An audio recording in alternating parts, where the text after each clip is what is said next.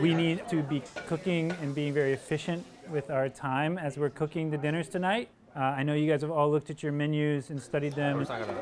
No, it will work. It'll just take The reason I took this class is because I hadn't taken um, a freshman seminar yet, and I kind of looked at the looked at the course offerings and thought, how could I not apply for such a cool opportunity? I came in with no cooking experience at all, um, and I think freshman year is a good a good time to learn with such like a basic life skill. And I thought like, what was a better opportunity um, than now? So yeah.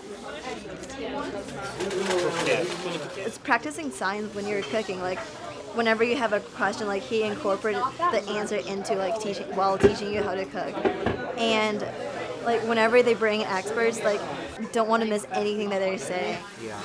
Okay, you have reserved juice if you think it still needs more cooking. Follow? You do that?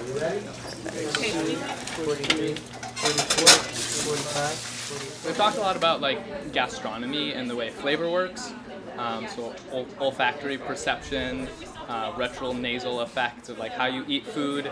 Um, so when I eat this bread with this delicious butter on it, mm, not only is my tongue tasting these flavors, but my olfactory glands are picking up perceptions that's going straight to my brain.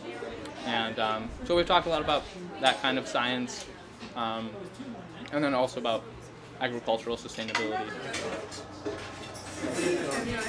Make sure to like take that plate. It's a win-win. Yeah, save yourself a ton of money.